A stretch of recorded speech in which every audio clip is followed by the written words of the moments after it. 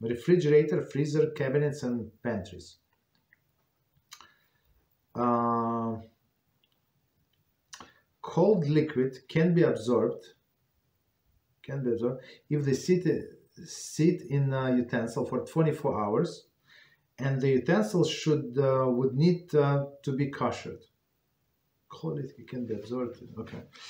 Otherwise um, any area that is used for cold uh, cold does not need uh, to be koshered it should be thoroughly cleaned and, uh, and covered uh, such is the practice in regard to refrigerator and the freezers, as well as the cabinets and pantries.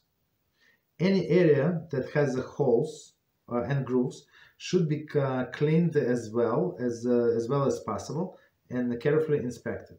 So let's. Uh, uh, so all, all of these cabinets. So if if the if if you're not going to use them, for example, they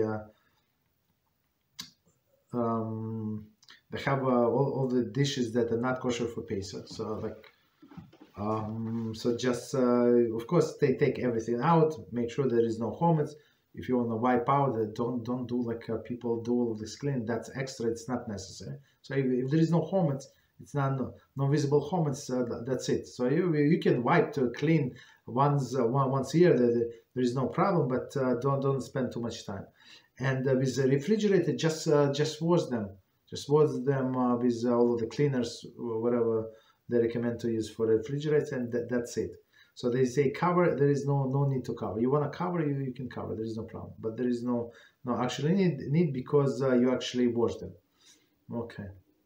Uh, cabinet, free, freezers, refrigerator, freezers, same thing. Just uh, wash them quickly and put the everything back. No problem. All of the, I mean, back meaning what is it? The the shelves, shelves cabinets same like un unless you have some spilled uh, cereal or some spilled uh, flour okay of course you have to clean it up but otherwise don't don't spend uh, too, too, too much time if you have only spices in that uh, cabinet. So there is no no much to clean. If you want to clean clean but don't say it was for pesa it was because you wanted to clean.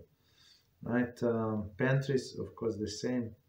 Okay, if you if you had, for example, you have a cabinet, you have only pantries, pantry closet for uh, for what is it for um, for canned food. There is no chametz whatsoever in there.